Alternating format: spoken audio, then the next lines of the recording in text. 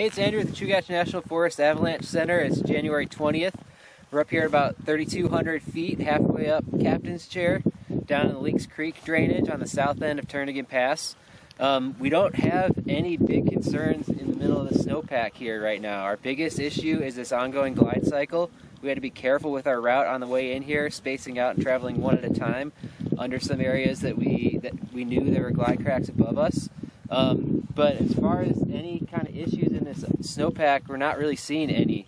So we're feeling good stepping out into some steeper terrain right now. Before we really committed to the steepest part of this slope, we just took the time to dig one quick snow pit and check ourselves. We don't have a ton of snowpack info on this end of the pass.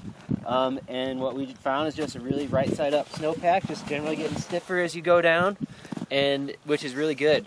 Um, in the next couple days, we're expecting this quiet weather to hang on. We might see a little bit of wind with some light snow tomorrow, Sunday, but really not enough to increase the avalanche danger. So this is going to kind of be our mindset until the weather picks up and we get a new load of snow on top of our current weak surfaces.